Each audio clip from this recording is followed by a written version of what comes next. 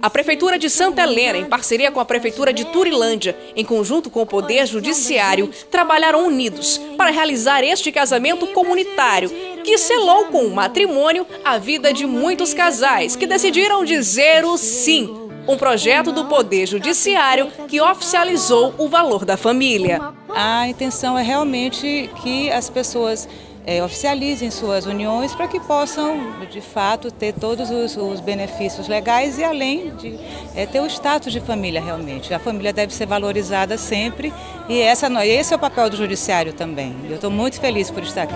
O juiz titular da primeira vara de Maracassumé, doutor Rômulo Cruz, foi convidado pela doutora Sinara para ajudar neste casório comunitário. É uma grande satisfação inicialmente estar aqui hoje a convite da minha grande amiga, doutora Sinara, realizando um casamento dessas proporções, muita gente, muitos casais, e a gente fica satisfeito, feliz de estar aqui podendo efetivar direitos, né? que na verdade é isso que nós estamos fazendo aqui. A Prefeitura de Turilândia também deu o seu apoio. Os casais estão de parabéns, quero parabenizar todos os casais, parabenizar também a doutora Sinara, promotor de justiça também da nossa comarca aqui de Santa Helena, Turilândia. Quero parabenizar todos os casais, todas as pessoas que vieram aqui nos prestigiar, que vieram participar desse casamento comunitário. Eu só tenho que agradecer e parabenizar os casais que se unam, que e desejo a Deus que lhe dê aos casais muita saúde, muita prosperidade e que Deus possa habitar em cada lar de todos os casais, tanto de Turilândia como de Santa Helena poderes executivos e judiciário juntos para ajudar quem tem um sonho de se tornar marido e mulher. São pessoas aqui que estão mais de 15, 20 anos juntos, ainda não tiveram a oportunidade de, de, de selar o seu casamento, né? estão é, aproveitando esta oportunidade exatamente para selar a união. Isso fortalece muitas famílias, né? Você sabe que a base da sociedade é a família.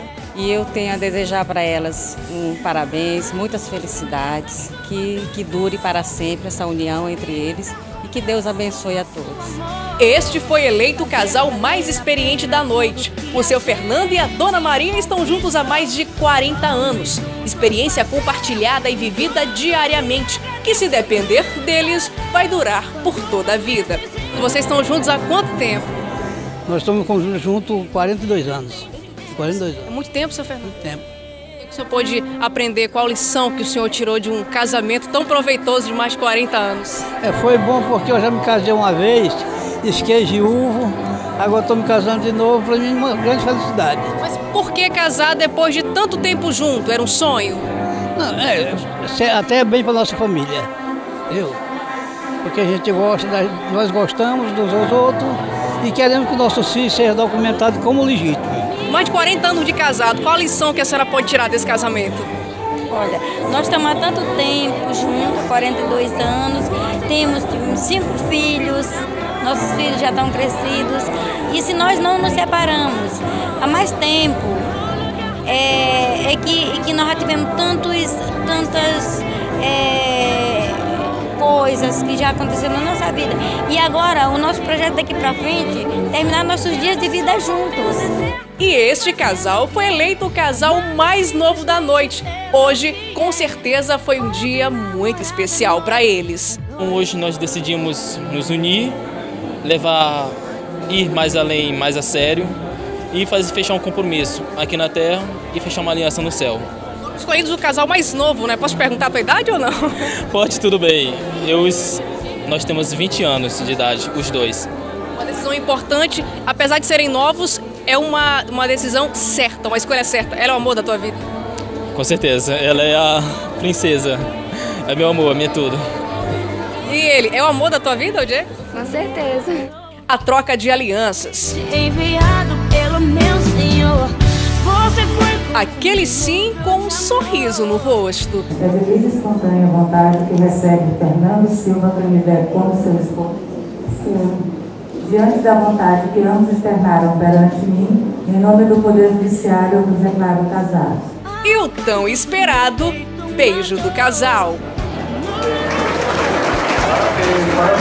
Momentos que jamais serão esquecidos. Sensação que até ontem parecia impossível tudo com a ajuda do Poder Judiciário e Executivo. Enfim, o sonho de todos esses casais se tornou realidade.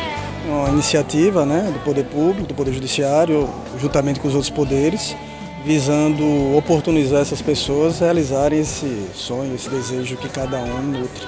Muitas delas que não tinham condições né, de custear um casamento e aqui a gente está tendo condição de realizar. Exatamente, por isso que o poder público, junto com as outras instituições, possibilitam que essas pessoas, geralmente pessoas que esperam, as pessoas que não têm uma condição naquele momento de realizar, e aqui nesse, nessa união eles conseguirão realizar esse, esse intento. Bom, e o resto a gente já sabe, a matéria acaba aqui, mas para todos esses casais, olha, depois desse casamento a noite promete. Seu Fernando, mas depois do casamento tem a segunda parte, que é a lua de mel. Tá tudo certo, seu Fernando? Isso é bom. Vou fazer a mesma pergunta que eu fiz para ele. O casamento já foi, e a lua de mel, tá tudo certo? Tá tudo certo. Posso pedir um beijinho para vocês? Posso, pode se beijar então. Agora